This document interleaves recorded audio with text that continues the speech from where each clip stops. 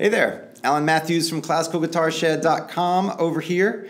And what if there was a practice skill, something you could add to your practice that would keep you more engaged, help you have even more fun in your practice, make your performances better, and ultimately make everything you do sound better? What would it be, and would you do it? We'll talk more about it in just a second. So, what is this practice skill that makes everything so much better? The answer is curiosity. Whenever we're curious, our mind perks up, we start paying attention. And how do we train this? How do we get curiosity into our daily practice? And how do we make it into a habit in just a natural way that we are? How do we become more curious? And the way is to ask open ended questions. Instead of just yes or no questions, am I playing the right note? Yes or no? If that's your question, your music's going to be very boring, even if it's perfect and you've got the right rhythm and the right note. If that's all you're asking, it's going to be pretty lame. It'll be precise, it'll be correct, but it won't be good. It won't touch people emotionally, it won't touch you emotionally, it'll be dry.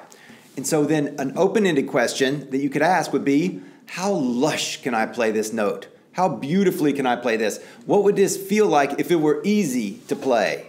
What would this feel like if Andre Segovia was playing it? How would it feel like if Kareem Abdul Jabbar was playing it? Just whatever it happens to be. Like, how would these different characters, what if Daffy Duck was playing it? What would it sound like then? Well, we can play with that, and there's no one correct answer. And that's the beauty of open ended questions, is that there is no one specific answer that's going to answer it. And so our mind starts churning on this, and we start looking for different ways. We start being more creative and we start opening ourselves to different possibilities. So, one of the prerequisites of curiosity is that we have to release the need to know the answer. To be curious, we have to admit that we don't know the answer. And so, if we know everything, we're going to learn nothing. So, if we want to continue to learn and explore and have more fun, we have to put that knowing aside and be the eternal beginner, the eternal student, and say, well, maybe I don't know the answer. Yes, I've been doing this for 50 years but maybe I don't know the answer. What if it was some other way? And how? What way would that be? Well, what if Yo-Yo Ma was playing this? Would he, what would he do differently than a guitarist would do? These are great questions to ask because it gets us thinking outside the box and get us to come to our music fresh and new and just more exploratory. So to build this habit, we just have to do it. We have to make a habit of asking some open-ended questions in all of our practice or even away from our practice. When we're sitting in the car waiting on the red light, we can ask a question. Hmm. What would it be like if dot dot dot? Or how would dot dot dot? Or what if dot dot dot? So, in truth, ain't nothing to it but to do it. It's just a matter of asking questions, looking for answers, trying things, experimenting. In our music, if we're learning a, a little passage, whatever that happens to be,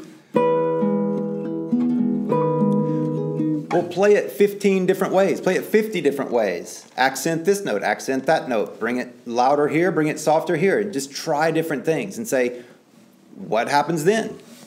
Does that sound good? What if I did it this way? These questions will constantly enable us to grow and get better. It also builds technique because to do these things, we have to use our hands, right?